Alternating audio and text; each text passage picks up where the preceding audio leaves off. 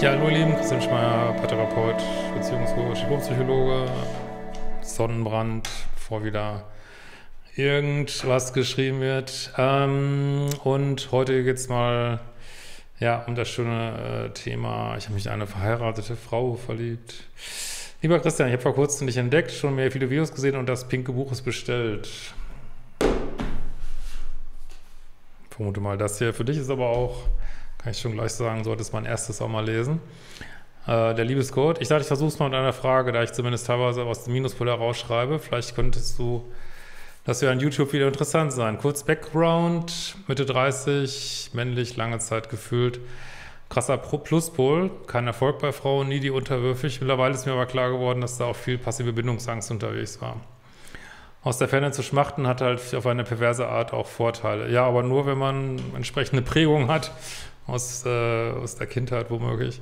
Und plötzlich, als ich endlich wirklich Kontakt mit Frauen hatte und es nette Frauen gab, äh, die tatsächlich Interesse an mir entwickelt haben, habe ich mich total im Minuspol wiedergefunden. Ja, das geht, glaube ich, äh, vielen so. Äh, war erstmal Schock für mich, bin mehrfach weggerannt, wollte mich nicht festlegen, noch Dinge erleben, konnte nicht bieten, was sie wollen und so weiter. Willst du ja nicht bieten. Ne? Du willst, also das äh, ist das Problem, wenn sich für einen stabile Beziehungen nicht richtig anfühlen, weil man sie nie hat, so, ne? äh, sucht man immer wieder das, äh, was einem nicht gut tut. Ne? Nur weil es sich vertraut anfühlt. Das ist leider, ist das genau das Problem. Ne? Ja. Äh, mittlerweile bin ich auch in äh, Therapie, was mir schon viel weitergeholfen hat. Dominierende, emotional übergriffige, grenzüberschreitende, gleichzeitig schwache Mutter, schwacher Vater und so weiter und so weiter. Zur aktuellen Situation. Ich bin jetzt seit einem Dreivierteljahr mit einer Frau in einer Fernbeziehung, Fragezeichen Fernaffäre. Ich kenne sie seit knapp drei Jahren, über die arbeitet, verheiratet, Kinder. So Leute, ich mache es jetzt heute mal anders. Ich bin nicht mehr bereit, muss ich ganz ehrlich sagen, habe ich diese Mail mal dazu benutzt. Ich bin einfach nicht mehr bereit, darüber zu reden. Ich habe wirklich, glaube ich, 500 Videos über Dreiecke gemacht.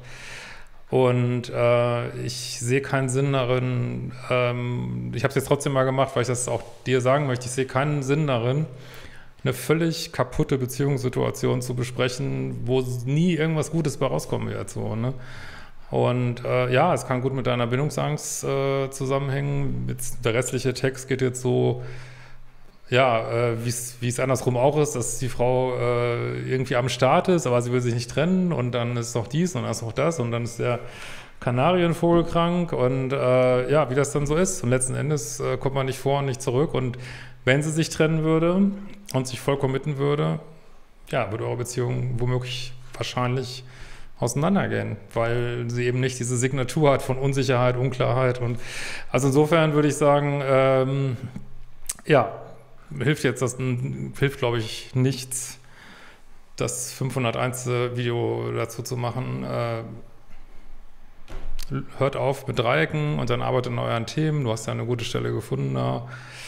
Äh, wenn du noch mehr Wissen haben willst, äh, gucken meine fucking Kurse. Mehr ist dazu nicht zu sagen und ich wünsche dir dass du das gut bearbeitest. In diesem Sinne, danke für deine Frage und wir sehen uns bald wieder.